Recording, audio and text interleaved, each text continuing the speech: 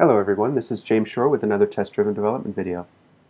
Uh, when we left off last time, we had just finished getting a basic capital gains tax uh, calculation in place. But as you can see right here, um, we didn't actually do it right. And let me show you what I mean by this. If we have capital gains tax of 1,000, or if we have 1,000 in capital gains and we withdraw it, and we're paying 10% capital gains uh, tax, then 10 times 0.10 is 100. But then we've now withdrawn $1,100. So we also need to pay capital gains on that 100. So that's 100 times 0.10 equals 10. And then we have to pay capital gains on that, and that's 1, and so forth. So in the end, we end up paying $1,111 total uh, uh, or no, we, we end up withdrawn, uh, with, withdrawing $1,111, and we pay uh, capital gains tax of $111. Um, now, when I did this in my spreadsheet, I solved this problem, and I actually, I have no idea how I came up with this, but it's actually pretty straightforward. If you take your thousand that you're withdrawing and you divide it by the um, the inverse of the capital gains tax, that is going to equal the right amount. So let's take a look at that.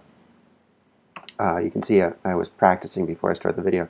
So 1,000 divided by 0.9 uh, minus 1,000 is 111.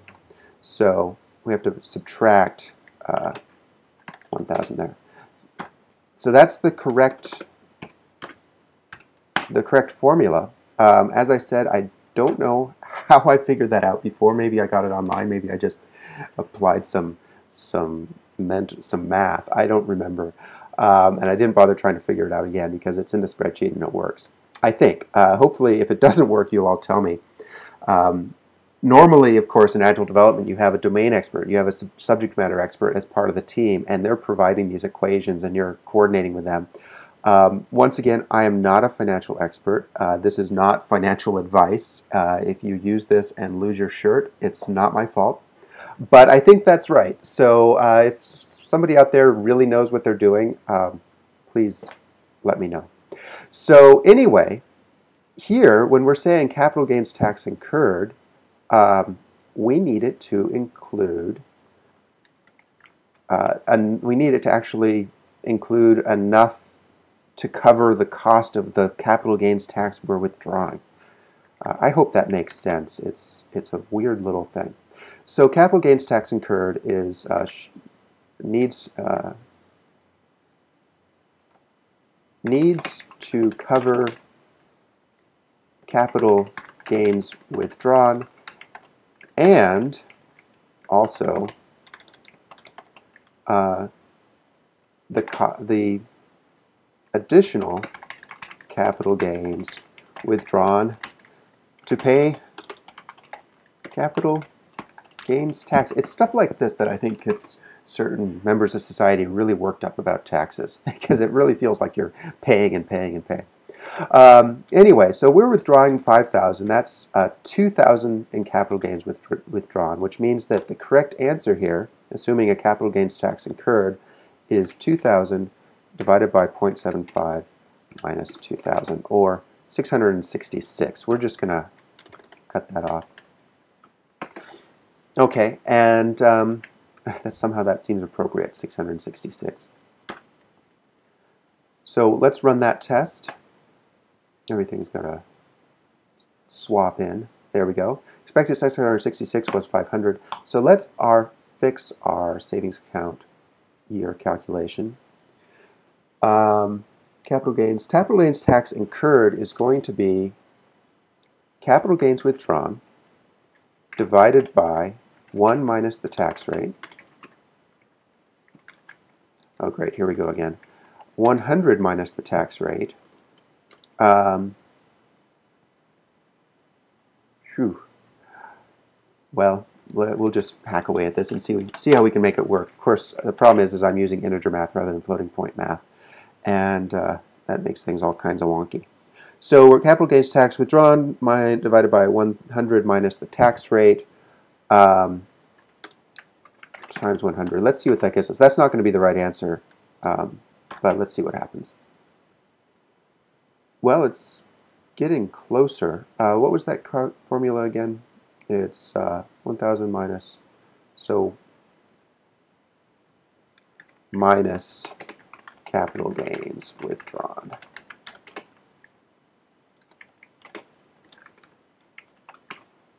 Okay.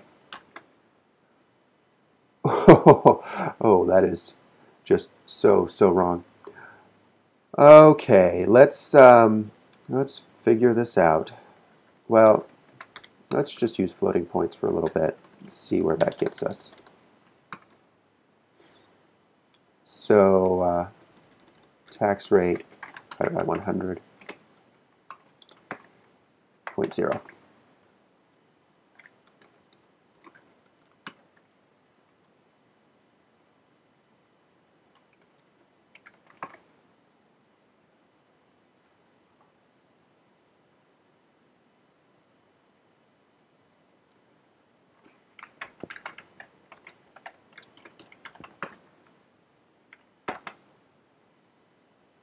Expected 666 was minus 1,999.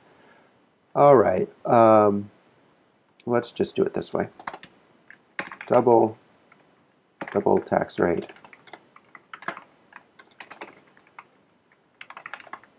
Tax rage, yes, exactly. Um,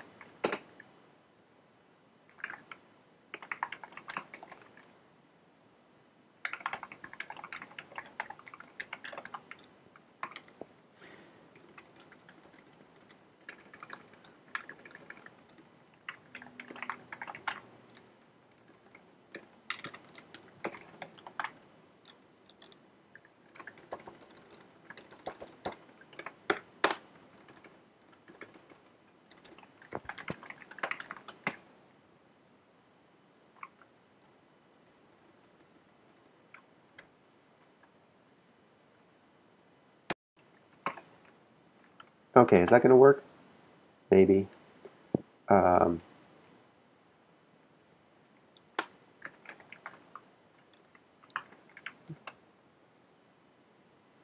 expected 666 was 6,000. Oh, and I've somehow lost my 1 minus along the way. Expected 500 was 666. Okay, that's the correct answer, um, but somehow it's uh, okay. So right here capital gains tax is included in ending balance. It's um,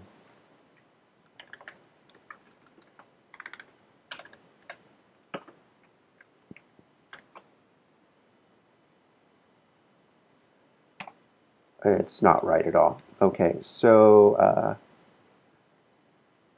the well, first let's just take a second look at that uh, test result. Everything else is working, so it's just the test that's broken. And this was kind of a, a grody test anyway. Yes, I, I did just say grody.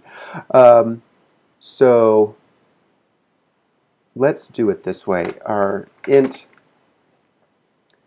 uh, starting balance after withdrawals should equal, let's call that expected starting balance. I use these really long names, especially like this one, in my tests because I'm never going to type it again and I really want it to be clear what's going on.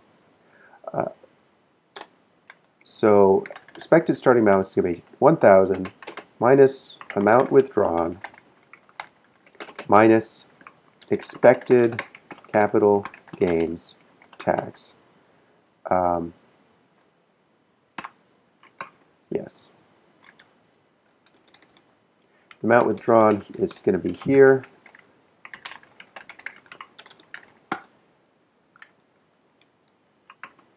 And the expected capital gains tax is here.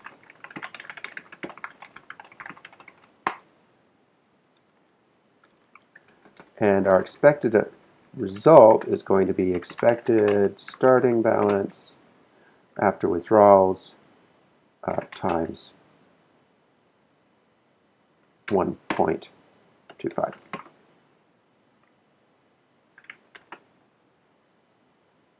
Ah, converted to an integer.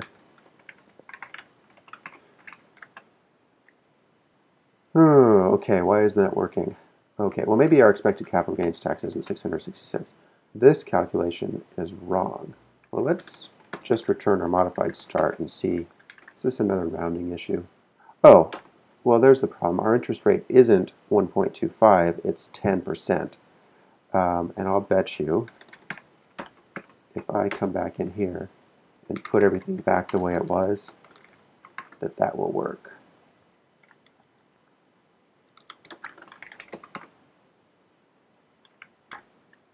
Yeah. Okay, so the error was in my test. Um, so now we should have, so we've done this to do, and um, I think we're done with this. We've withdrawn more than the principal incurs, withdrawing more, blah, blah, blah. Okay, yeah, I think we've done that now. Um, also, that reminds me, earlier I said that I deleted this, but I hadn't. Um, yep, everything still works. Now, uh, we're not doing the starting principal correctly here. This needs to be here. Um,